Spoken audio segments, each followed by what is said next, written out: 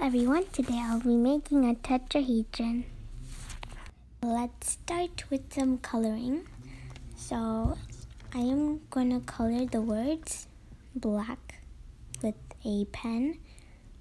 Just trace these very slowly. After I'm finished with this, I'm gonna color with some color pencils. So I'm gonna color light green on the grass on the ground and then I'm going to color the cross black.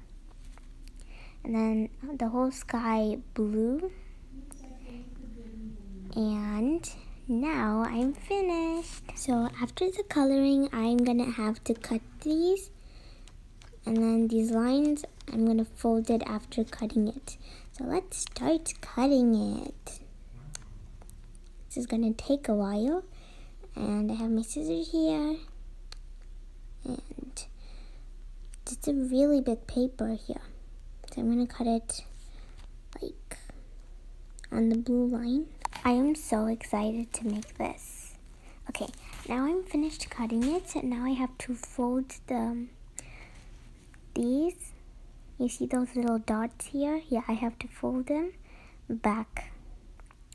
And there's some between the pictures also. Okay now I finished folding it. Now I just have to stick it together like this. And it's a tetrahedron. It's a, and now I'm finished. Here it is. Oh, it looks so pretty. On the paper it says, for me he died. And for me suffered. For me now he lives. I really like that.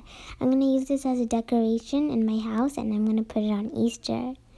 Easter decorations. Bye.